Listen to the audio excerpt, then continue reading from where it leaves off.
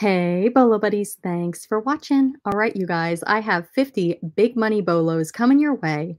Um, most of these are unexpected. Uh, these were shared in my Facebook group, my Bolo Buddies Facebook group. I will link it down in the description of the video. If you guys are not a member, definitely go join. Um, it's free to join, and we talk about all things bolos, but it is also a resellers group. So lots of um, reseller help available. So if you have questions about reselling or just want to share a bolo, be sure to uh, join down below. All right, you guys, let's get started with these big money bolos. Again, I post these. What I do is I post live auctions that are current at the time in my Bolo Buddies Facebook group, and we watch it as a group. Um, these are typically big money items that already have a lot of bids and a lot of unique bidders. So I kind of try to do the research to make sure it is a legit item. So let's get started with these big money bolos. Okay, so the first item is this. Oh, let me check something here. I apologize. Okay is this Lego Ideas, and it's an old fishing store. It's a retired set, you guys. The box is damaged. So I will tell you that Lego sets in general, if they are retired and maybe limited numbers were produced, they can go for big money. This one sold for $390 plus shipping. The next item is this vintage, um, it's a sharpening stone, you guys. It's made in Germany and Eschner, or no, Escher, uh, Sun, Water Razor.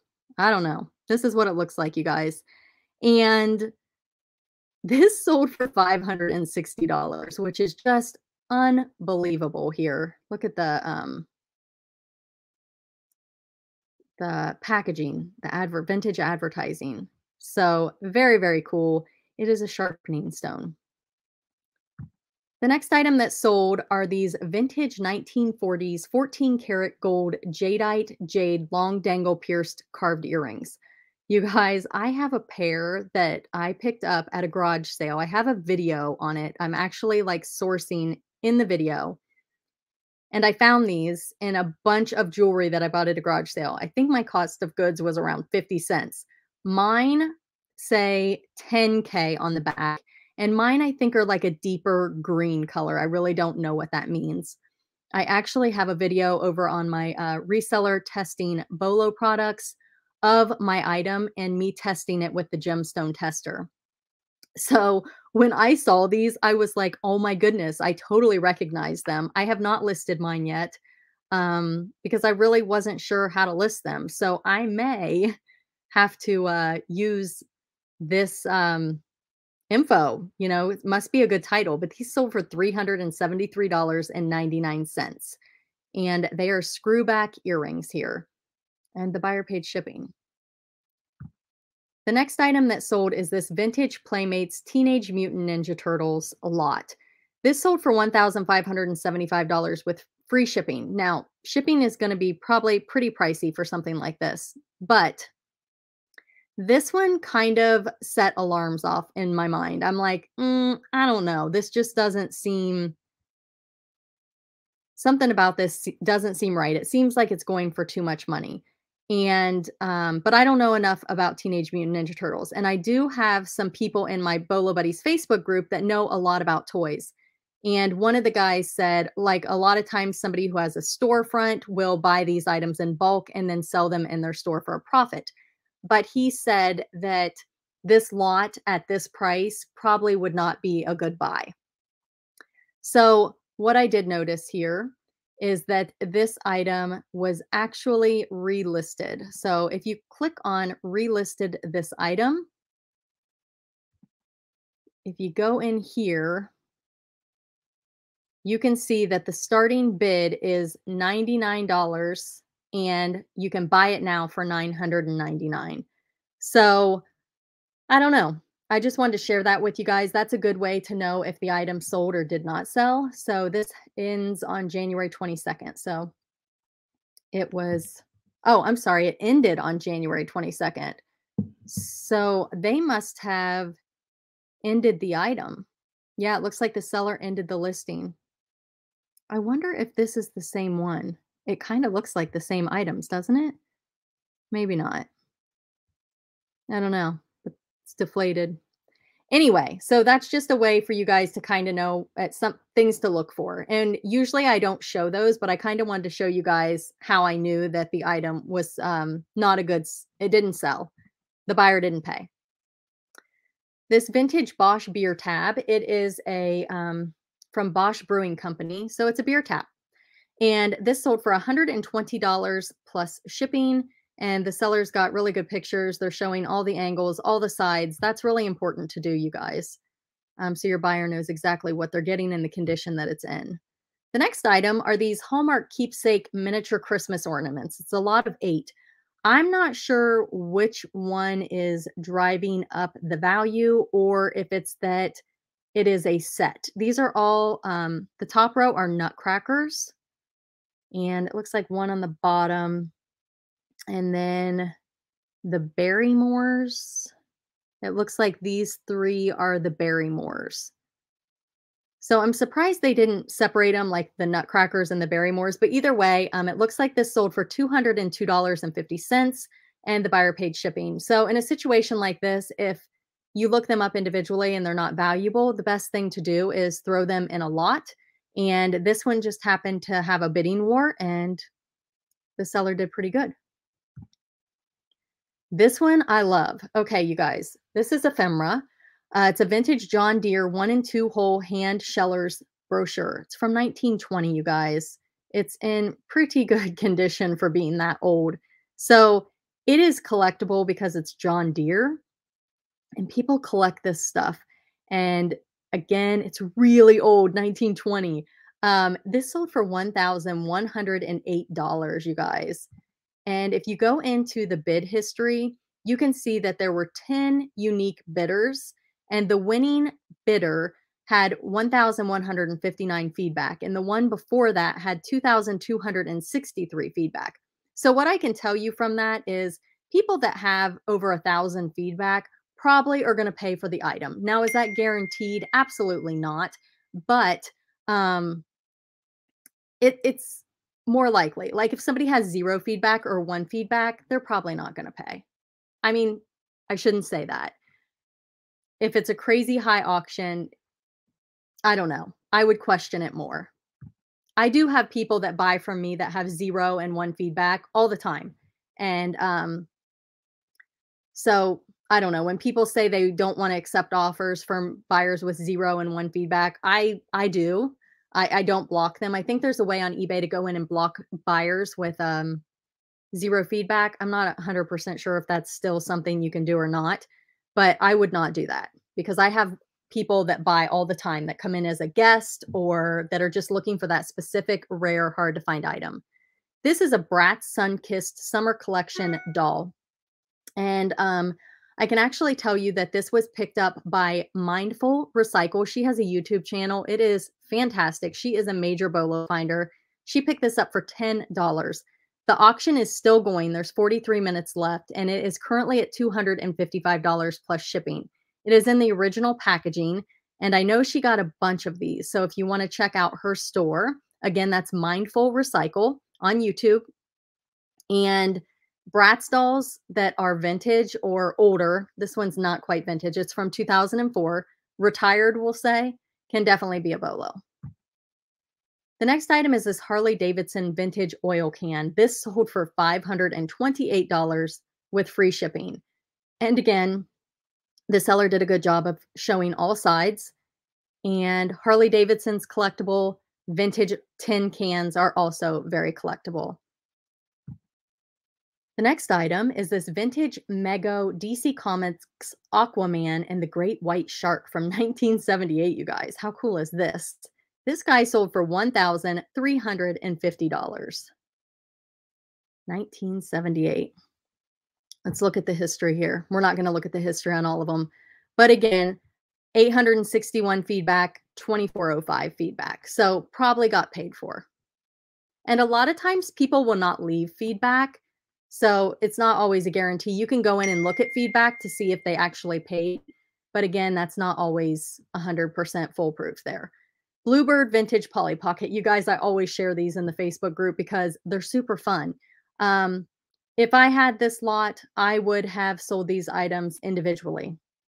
I think they left some money on the table by selling it as a lot, but I have seen some of these go for really big money when people sell them in lots like this. I am not a Polly Pocket expert, so I probably would have looked them up individually and then decided what to do. This sold for $233.50 with free shipping. The next item is this huge lot of vintage uh, G.I. Joe weapons, backpacks, accessories, missiles, weapons. It's just a huge lot. Um, if you guys don't know, some of the vintage items like this can definitely be a big money bolo. Um, you really have to know what you're looking for. Like I would see these and I would have no idea that these were GI Joe items, but somebody who collects or knows about toys would definitely know the value of this lot. So this could be a reseller buying this lot. This sold for $435 plus shipping. The next item is this vintage doll border fabric. It is um says cotton quilt but it's just fabric, you guys. And this sold for $162.49. So I'm guessing this is a retired sought after pattern. I'm really not sure. I don't know much about fabric. I do know that some of it can go for a lot of money like this. The next item is this Hernend. I'm not sure if I'm saying that right. Um, it's the, it's an animal figurine, and they're a pair of drafts, and they are really really spectacular. And this sold for $870 plus shipping. I was going to see, okay, right here, it looks like is the marking. It's kind of hard to see. Looks like it might be numbered as well. So I don't know too much about that brand, but I just thought it was really, really cool. So I pulled the auction up and shared it in the Facebook group. Okay, so these junk drawer lots. Um, I will tell you that these tempt me sometimes. I love selling smalls.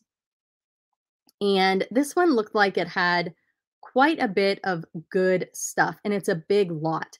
So let's say you listed every item for $10, and I'm sure there's items that are here that are worth more than $10. But even at $10 a piece, I mean, there's a lot of potential here. So um, maybe a lot of it's bread and butter, maybe not. I don't know. What I like to do is actually go into the seller's store and see what else they're selling. Did they cherry pick this? Are they just throwing the bread and butter here? But even if it is just a bunch of bread and butter, it's still a lot of fun to learn and list. And there's definitely some money that could be made on this. This one sold for $217.50 plus shipping. The next item is this vintage 1963 Howdy Soda bottle Kingston, and it says Ontario. So this is an old bottle, you guys. Would you have walked past it or picked it up? It sold for 103.50 plus shipping. The next item is this 1940s era Boy Scouts War Service Air Scout. It's an Eagle rank vintage uniform. I don't know, a lot of words that I don't really know much about, but I do know that some Boy Scout stuff is collectible. This one is from the 1940s. Um, it sold for $1,325. So because it's over a $1,000, let's go in and look. So the top bidders are at 552 and 762 feedback. So that's pretty good. The next item is this vintage Allen's drive-in restaurant. Again, more of an ephemera item. Um, super, super cool. It looks like it's still got the original little add-on piece of paper with the paper clip. $110 plus shipping, you guys. The next item is just pretty interesting. Um, I, if I saw this at a garage sale or an estate sale, I, I don't know if I would have picked it up because the condition is not great. It says vintage antique rare German mercury glass Christmas ornament boy hugging a tree. You guys, this sold for $638 plus shipping. So pretty amazing. The next item is this cast iron figural, I guess another word I cannot say, uh, paperweight doorstop hummingbird old vintage antique. Um, somebody messaged me and they told me it's not a hummingbird. They told me what it was. and I cannot remember, but um, if you know what this is, let me know in the comments. This sold for $412 plus shipping. The next item is this unused antique 1930s hand stitched quilt. Um, it's called Flower Garden. So a lot of these um, quilts have patterns and the patterns have names. If you can learn the pattern and put that in the title, that is definitely going to help you sell the item. This sold for $385 plus shipping. The next item is this Art Deco Bakelite uh, portable radio. If you guys do not know how to test for Bakelite, I do have a couple videos that show you how it's super, super easy. And um, if you ever see these old radios that look kind of plastic and this one's kind of marbled, check them because Bakelite in the title is going to help you get more money for your item. This sold for $157.50 plus shipping. The next item, speaking of, um, this one is not Bakelite, but this one is celluloid and it is one button. Now, this is not a huge money bolo, you guys, but if you could find like 10 of these or six of these off of a coat, you might be able to get 100 bucks out of them. I mean, this one button is selling for $25.05 plus shipping. The next item was um, sent to me from a member of the Facebook group. If you guys are in the Facebook group and you have an auction that's getting a lot of bids and you consider it to be a bolo, you can send me a private message on um, Facebook and I will share your item. So this is a Build-A-Bear African Springbok. It's from 2010 and it is rare. And she listed this originally and had a non-paying buyer. And then she listed it again and it went auction style and sold for $317 plus shipping. And the buyer paid and everything was good. The next item, I have no idea what's going on here. I mean, I do, but I don't. Um, auto meter is not something that I would like there's certain ones that like Mac and um some John Deere that can go for more. We just know that they go for a lot. Auto meter I've never heard of and maybe that's why it's going so high because I've never heard of it. But the three stripes on the side is really important. Um, those typically go for more, but this sold for $1,625. Um, I have sold some snapback hats. A lot of mine go um, internationally. So a lot of international buyers look for these hats. I don't know if they collect them or exactly why, but let's look at the bid history. It looks like the winning bidder had 86, um, 86 feedback. So the next highest bidder was at one. And at $930, they had 257 at $900, 340. So still some decent bids. I don't know if this actually got paid for. That seems really high to me. The next item that sold are these super cute little reindeer. Um, they are Lefton, L-E-F-T-O-N. That is the brand. They are made in Japan. I love made in Japan. And these sold for $380 plus shipping. The next item is this vintage Tiger, Wor- Tiger Woods t-shirt. And you guys, they have it on a golf course. How funny is that?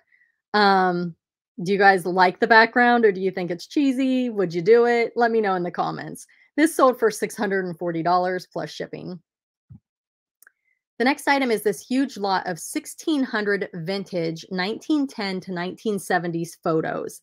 Um, pretty good deal, if you ask me. This ended up only going for $173.50.